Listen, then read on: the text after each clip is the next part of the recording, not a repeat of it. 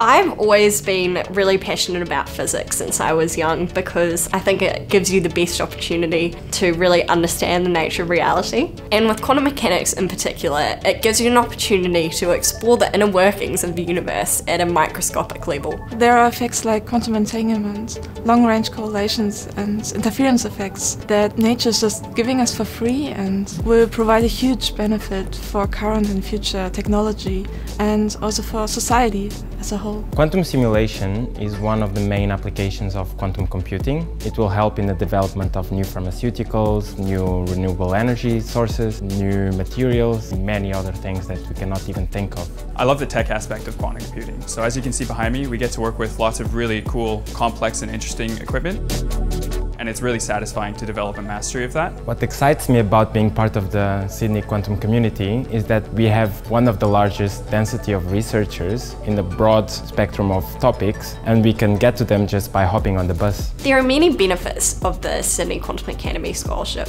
I would say first and foremost from a practical perspective, the scholarship provides me with the funding that I need to be able to pursue a PhD full time. One big benefit of being part of Sydney Quantum Academy is it gives me space to connect with peers and academics from my own university and the others across Sydney.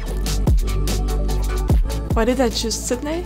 Well, it's just great. There are many startups, four universities, and also industry opportunities.